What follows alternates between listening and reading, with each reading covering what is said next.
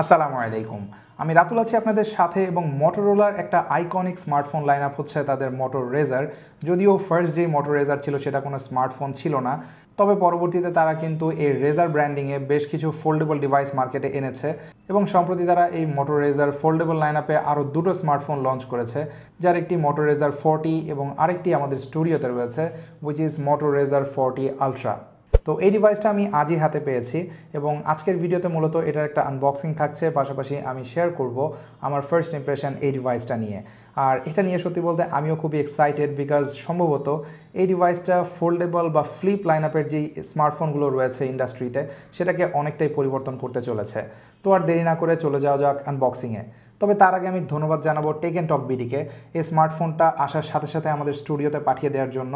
তাদের কাছে আপনারা যে কোনো ব্র্যান্ডের ফ্ল্যাগশিপ থেকে শুরু করে মিড রেঞ্জ যে কোনো ইউনিক স্মার্টফোন সব কিছুই পেয়ে যাবেন ইনক্লুডিং গ্যাজেটস তো আপনারা যারা ইন্টারেস্টেড তাদের জন্য টেক অ্যান্ড টক বিডি সম্পর্কে বিস্তারিত থাকবে ভিডিও ডেসক্রিপশন বক্সে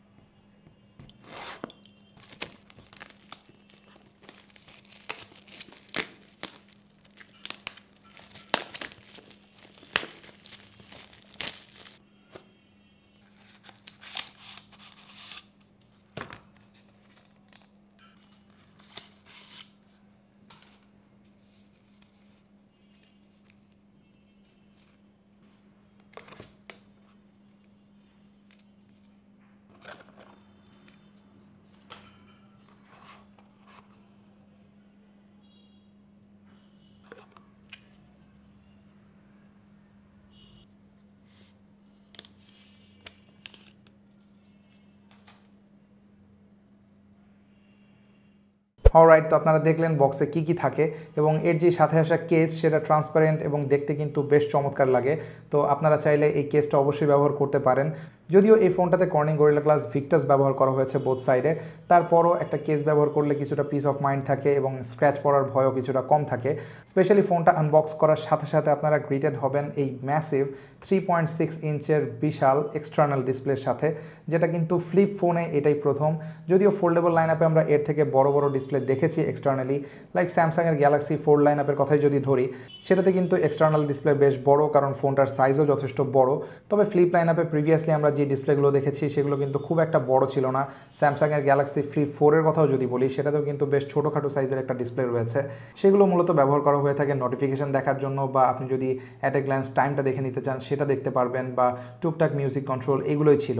এবং এই ফোনটার আগে আমার দেখা সব থেকে বড় ডিসপ্লে ছিল এক্সটার্নালি এই ফ্লিপ লাইন আপের ফোনে সেটা ছিল Oppo Find N two Flip তবে এই ফোনটাতে অর্থাৎ মোটো রেজার ফোরটি আলট্রাতে মোটোরোলা ওয়েন্ট অল আউট এবং তারা এখানে ইমপ্লিমেন্ট করেছে থ্রি পয়েন্ট সিক্স ইঞ্চের একটি হিউজ ডিসপ্লে ইন্টারেস্টিংলি আপনাদেরকে আরেকটা ব্যাপার মনে করিয়ে দেই। আপনাদের অনেকেরই হয়তো মনে আছে যে ফার্স্ট আইফোনে যে ডিসপ্লে সাইজ ছিল, সেটা ছিল মাত্র থ্রি পয়েন্ট ফাইভ ইঞ্চ অর্থাৎ সেই মেইন ডিসপ্লে থেকেও এখন এই এক্সটার্নাল ডিসপ্লের সাইজ কিন্তু বড়। যদিও এই ফোনটা আসলে এভরি অ্যাসপেক্টেই মোটোরোলার আগের যে ফোল্ডেবল ফোনগুলো ছিল বা ফ্লিপ লাইন আপের ফোনগুলো ছিল সেগুলো থেকে কিন্তু অনেকটাই আপগ্রেড স্পেশালি স্পেক্স নিয়ে আমরা প্রিভিয়াসলি অনেক কমপ্লেন করেছি যে এত চোদ্দোশো পনেরোশো ডলারের ফোন বাট সেগুলোতে মিড রেঞ্জের চিপসের তারা ব্যবহার করছে বা সেই ফোনগুলোতে এত মোটা চিন রয়েছে বাট এটাতে কিন্তু সেরকম কোনো কমপ্লেন থাকার সুযোগই থাকছে না। হ্যাঁ যদিও এখনও এই ফোনটাতে একেবারে লেটেস্ট অ্যাভেলেবল যে প্রসেসর সেটা ব্যবহার করা হয়নি, অর্থাৎ স্ন্যাপড্রাগন এইট জেন টু এটাতে থাকছে না। এটাতে আপনারা পাচ্ছেন Snapdragon eight plus Gen one so performance হয়তো টপ অফ দ্য লাইন স্যামসাংয়ের এস টোয়েন্টি থ্রি আলট্রার মতো হবে না, কিছুটা পিছিয়ে থাকবে বাট আই ডোন্ট থিঙ্ক আপনারা ডে টু ডে লাইফে আসলে এই জিনিসগুলো নোটিস করবেন। তো সেসবের ডিটেলে যাওয়ার আগে চলুন এই ডিসপ্লেটা নিয়ে একটু কথা বলা যাক যে এটাতে আপনারা এখন কী কী করতে পারবেন। ওয়েল ফার্স্ট অফ অল এটা ফুললি কাস্টমাইজেবল এখন এবং এটাতে অ্যাপ সাপোর্ট রয়েছে এবং যদিও অ্যান্ড্রয়েডের অ্যাপ এই সাইজে হয়তো এখনও ওইভাবে সাপোর্টেড না বাট অনেকগুলো অ্যাপই এটাতে সাপোর্টেড এবং এখন আপনি চাইলে এই অ্যাপগুলো অ্যালাউ করতে পারবেন এই কাভার স্ক্রিন বা এক্সটার্নাল ডিসপ্লেতে ব্যবহার করার জন্য। সে ফর এক্সাম্পল গুগল ক্রোমে আপনি কোনো কিছু ব্রাউজ করছেন বা গুগল ম্যাপে আপনি কোনো কিছু ব্রাউজ করছেন, সেটা আপনি চাইলে এই ডিসপ্লেতে কিন্তু নিয়ে আসতে পারবেন খুব সহজেই এবং এটাতে ওপেন করতে পারবেন। তো কম্প্যাক্ট রেখেও আপনারা মোটামুটি এই ডিসপ্লেতে সব কাজই চালিয়ে নিতে পারবেন। এখানে অনেকগুলো অ্যাপস রয়েছে। এখানে আপনারা চাইলে যে কোনো উইজার্টস ব্যবহার করতে পারবেন এবং এগুলোর সাইজও যথেষ্ট বড় সো ভিজিবিলিটিতে কোনো রকম ইস্যু হয় না। ইভেন এখন যদি আপনারা চান, এখানে ফুল সাইজ কিবোর্ডও পেয়ে যাবেন টাইপ করার জন্য। সো আপনি যদি কোনো নোটিফিকেশান পান মেসেঞ্জারে বা কোনো মেসেজে সেটা আপনারা এখান থেকে রিপ্লাই করতে পারবেন। So it's a huge plus আপনাকে বারবার বড় ডিসপ্লেটা ওপেন করতে হবে না। আর এই ডিসপ্লের স্পেক্স যদি বলি, এটা resolution ten fifty six by ten sixty six এবং এটা কিন্তু ওয়ান ফর্টি ফোর হার্টসের একটা ডিসপ্লে আর এটার যে ব্রাইটনেস সেটা up to eleven hundred nits পর্যন্ত আপনাকে প্রোভাইড করবে। সো আপনি যদি আউটডোরেও থাকেন, আমার মনে হয় না এটা নিয়ে ভিজিবিলিটির খুব একটা ইস্যু থাকবে। যদিও আমি পার্সোনালি টেস্ট করতে পারিনি বিকজ ফোনটা আমি আজকেই আনবক্স করেছি এবং এখন পর্যন্ত আমি স্টুডিওতেই রয়েছি। বাট সো ফার স্পেক্স দেখে মনে হচ্ছে না কোনো রকম সমস্যা হবে আউটডোরে তাছাড়া এই ডিসপ্লেতে আপনি চাইলে গেমও খেলতে পারবেন ইভেন আপনি চাইলে ইউটিউব ভিডিও পর্যন্ত প্লে করতে পারবেন। তাছাড়া এতে থাকা বেশ কিছু ওয়ালপেপার যেগুলো এর যে ক্যামেরার চারপাশ, এটাকে কিন্তু একেবারে ইউটিলাইজ করে ফেলে। দেখতে মনে হয় যে এখানে অন্য কোনো কিছু রয়েছে এবং এটাই মনে হয় আমার দেখা সব থেকে বড় পাঞ্চল কাট আউট আই মিন এখানে দুটো মেইন ক্যামেরা রয়েছে মেইন ক্যামেরার পাশ থেকে কিন্তু ডিসপ্লে পিক্সেল রয়েছে। সো ইয়া এই ফোন যারা ব্যবহার করবেন, আমার মনে হয় না বারবার ফ্লিপ করে ভেতরের বড় স্ক্রিনটা ব্যবহার করতে হবে। আর প্রিভিয়াসলি আমরা দেখেছি এই ফোল্ডেবল স্মার্টফোন ইন্ডাস্ট্রিতে মূলত দুটি ফর্ম ফ্যাক্টরের স্মার্টফোন পাওয়া যেত। একটা ছিল ফ্লিপ লাইন আপ এবং আরেকটা ফোল্ড লাইন আপ যেটা স্যামসাংয়ের রয়েছে। এবং এই দুটো লাইন আপের সব থেকে বড় যে পার্থক্য ছিল, তা হলো ফোল্ড লাইন আপের ফোনগুলোতে বারবার আপনাকে ভেতরের স্ক্রিনটা অন করে কোনো কাজ করতে হতো না। ওপরের যে এক্সটার্নাল ডিসপ্লে সেটাই কিন্তু যথেষ্ট বড় ছিল এবং আপনি ডে টু ডে লাইফের সব কাজই করে ফেলতে পারতেন। বাট আপনি যদি খুব বেশি পাওয়ার ইউজার হয়ে থাকেন and obviously you are because আপনারা পাওয়ার ইউজার না হলে এত বড় ডিসপ্লের ফোন কেনই বা কিনবেন? সো তারা যখন বড় ডিসপ্লের প্রয়োজন অনুভব করতো, তখন তারা আনফোল্ড করতো ফোনটা এবং তখন তারা গ্রিটেড হতো সেভেন পয়েন্ট সিক্স ইঞ্চের একটা ডিসপ্লেতে বাট ফ্লিপ ফোনের ক্ষেত্রে কিন্তু আমরা উল্টোটাই দেখেছি, অর্থাৎ শুধুমাত্র নোটিফিকেশন অ্যান্ড স্টাফ যেটা আমি একটু আগে বললাম। আর বাকি সব কাজের জন্য আপনাকে ফোনটা ওপেন করতে হতো। বাট এই ফোনটা আমার মনে হয় ফোল্ডেবল এবং ফ্লিপ লাইন আপের মধ্যে যে পার্থক্যটা রয়েছে, সেটা অনেকটাই মিনিমাইজ করে ফেলেছে এবং এখন আপনাকে বারবার ওপেন করতে হবে না ফোন যে কোনো কাজের জন্য। আপনারা এই ডিসপ্লেতেই সব কাজ সেরে ফেলতে পারবেন অলমোস্ট বাট এর মানে এই না যে ভেতরের ডিসপ্লেতে কোনো রকম কম্প্রোমাইজ করা হয়েছে। আপনারা যখন ফোনটা ওপেন করবেন, তখন এখানে আপনারা সিক্স পয়েন্ট নাইন ইঞ্চের একটা ডিসপ্লে পাবেন, যেটা এলটিপিও প্যানেল এবং এটা কিন্তু হান্ড্রেড অ্যান্ড সিক্সটি ফাইভ হার্জের একটি প্যানেল আর এটার যে ব্রাইটনেস সেটা up to fourteen hundred nits so এটার ডিসপ্লেও প্ল্যান্টিয়ান অফ ব্রাইটার তাছাড়া এটার যে কালার রিপ্রোডাকশন চমৎকার ছিল ওয়ান বিলিয়ন কালার এটাতে সাপোর্টেড সব মিলিয়ে এই ডিসপ্লেটাও কিন্তু একেবারে টপ নচ ফ্ল্যাগশিপ একটা ডিসপ্লে আর তাছাড়া প্রিভিয়াসলি আমরা মোটরোলার যেই ফোনগুলো দেখেছি রেজারের সেগুলোতে ছিল একটু বটম চিনটা বেশি বা ওভারঅল চারপাশের বেজেলও কিছুটা মোটা ছিল। বাট এটাতে কিন্তু অনেকটাই স্লিম ডাউন করা হয়েছে। এবং এই ফোনটা আপনারা যদি স্যামসাং বা ওপ্পোর যে ফ্লিপ ফোনগুলো রয়েছে, সেগুলোর সাথে সাইড বাই সাইডও রাখেন, আমার মনে হয় না খুব একটা পার্থক্য আপনারা দেখতে পাবেন। আর এখানে পাঞ্চল কাটআউট একটা সেলফি ক্যামেরাও রয়েছে বাট ফোল্ডেবল ফোন সব থেকে বড় প্রশ্ন যে আসলে ক্রিজ দেখা যায় কি না ওয়েল ক্রিস এখনও দেখা যায় এবং আপনি এটা হাত দিলে ফিলও করতে পারবেন। তবে এটা আমার ব্যবহার করা এখন পর্যন্ত সব থেকে কম নোটিসেবল ক্রিজ আর এই ফোনটাতে আপনি যখন কোনো কন্টেন্ট দেখবেন, তখন আসলে এগুলো এত বেশি নোটিসেবল হয়ও না এমনিতেও। So it doesn't matter much এছাড়া ফোনটার বাকি দিকগুলো নিয়ে যদি বলি যে কোনো রেগুলার ফ্লিপের মতোই, অর্থাৎ এটাতে পাওয়ার বাটনে আপনারা ইমপ্লিমেন্টেড পাচ্ছেন fingerprint the dual stereo speaker রয়েছে, যেটার সাউন্ড যথেষ্ট ভালো।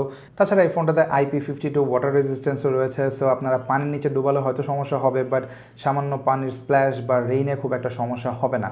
আর ফ্লিপ ফোনগুলোতে আমরা সব থেকে বড় যে কম্প্রোমাইজটা দেখতে পাই সেটা হয় ক্যামেরা। তো এই ফোনটাতে আপনারা পাচ্ছেন মূলত দুটো ক্যামেরা প্রাইমারিটা টুয়েলভ মেগাপিক্সেলের একটি ক্যামেরা, পাশাপাশি আলট্রা ওয়াইড থার্টিন মেগাপিক্সেলের ক্যামেরা। তো প্রাইমারি ক্যামেরা দিয়ে আমি টুকটাক এই স্টুডিও এনভায়রনমেন্টে কিছু ছবি তুলেছি এবং আমার কাছে মনে হয়েছে এটা ডিসেন্ট এনাফ ছিল, যদিও এটা এস টোয়েন্টি থ্রি আলট্রা বা অন্য কোনো ফ্ল্যাগশিপের সাথে একেবারে পাল্লা দেবে এরকম রেজাল্ট না। বাট তারপরও আপনি চালিয়ে নিতে পারবেন এবং এখনও এই কম্প্রোমাইজটা রয়েছে, কারণ এটাতে আসলে রুম অনেক কম। আর এতে থাকা যে আলট্রা ওয়াইড থার্টিন মেগাপিক্সেলের ক্যামেরা এটার ফিল্ড অফ ভিউ রেগুলার যে আলট্রা ওয়াইড ক্যামেরাগুলো থাকে, সেগুলোর চাইতে অনেকটাই কম। এটা আপনাকে hundred and eight degree field of view দেবে, যেখানে এস টোয়েন্টি থ্রি আলট্রা বা রেগুলার যে কোনো স্মার্টফোনের আলট্রা ওয়াইড ক্যামেরাতে আপনারা কিন্তু হান্ড্রেড অ্যান্ড টোয়েন্টি বা তার বেশিও পেয়ে যাবেন। তবে এতে একটা ছোট্ট ট্রিক রয়েছে, এটাতে আপনারা চাইলে ম্যাক্রো ফটোগ্রাফিও করতে পারবেন। হ্যান্ড অফকোর্স ছবি তোলার সময় এর ম্যাসিভ যে এক্সটার্নাল ডিসপ্লে সেটাতে আপনারা প্রিভিউ করতে পারবেন। আর আপনি যখন অন্য কারও ছবি তুলছেন কম্পোজিশন দেখাতে তাকে চাইলে আপনি এক্সটার্নাল ডিসপ্লেটা শেয়ার করতে পারবেন। তখন যার ছবি তুলছেন, সে কিন্তু চাইলে দেখতে পারবে। আর ফ্লিপ ফোনে আমরা আরেকটা জায়গাতেও বড় কম্প্রোমাইজ দেখতে পাই, তা হলো ব্যাটারি লাইফ যদিও গ্যালাক্সি ফ্লিপ ফোর এখন কিন্তু এই প্রবলেমটাকে অনেকটাই মিনিমাইজ করে ফেলেছে। লাস্ট তাদের যে ফ্লিপ ফোর সেটাতে থার্টি সেভেন হান্ড্রেড মিলিয়াম্পের ব্যাটারি আমরা দেখেছি এবং রিভিউতেও বলেছি যে সেটা খুবই চমৎকার ব্যাটারি লাইফ প্রোভাইড করেছে।